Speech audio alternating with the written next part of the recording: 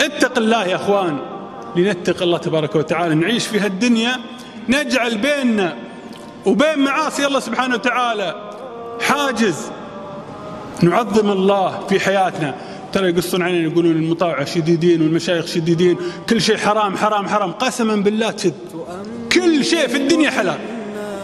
الحرام ما حرمها الله. ما نجي ما المشايخ ترى ما يجيبون شيء من جيوبهم الربا حرام حرام.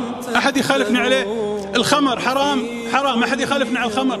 الزنا حرام. أحد يخالفني على هذه الأمور؟ ترى ما يجيبون شيء والله. كل حياتنا عيش كل حلال واشرب وسافر وسوي اللي تبيه.